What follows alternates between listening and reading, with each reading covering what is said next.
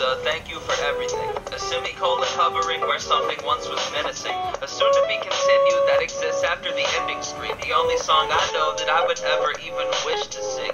When heat is blistering, you're the ice that's glistening inside my cup of tea, which is also you. Interesting. Throughout all the seasons of this transition of winter spring, you've been here beside me with the sweet nothings you're whispering. Anything I do for you is worth it times a million and a half. We can sit and be resilient and laugh in between the subtle compliments and billions of half kiss, half of half cuddle moments we share. And I know it's unfair that we could only spend a few days here, but I'm yours and I think that's clear. So forget about goodbye. This is see you soon, my dear.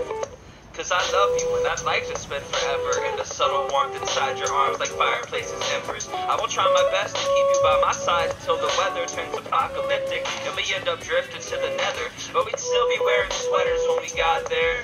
Cause we're both way too caught up all in our cuteness to care about hot air. And even if it burned me alive, I'd have my crosshairs set up on your heart. Make it hard, cause why stop there? I keep on creating for you till my final days. Dancing in the living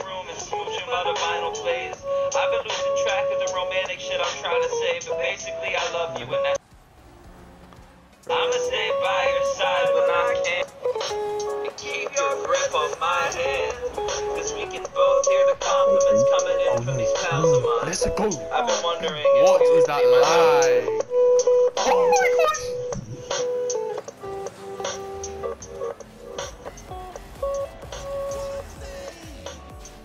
My gosh!